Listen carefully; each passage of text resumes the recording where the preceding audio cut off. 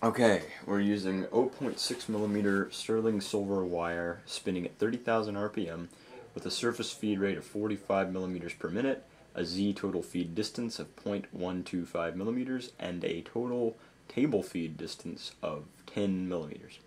Without further ado, I'm going to turn the spindle on to 30,000 RPM and try and start the deposition.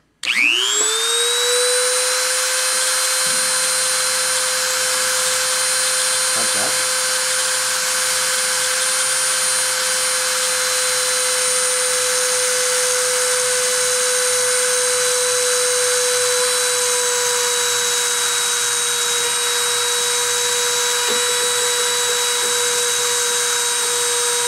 Starting the print.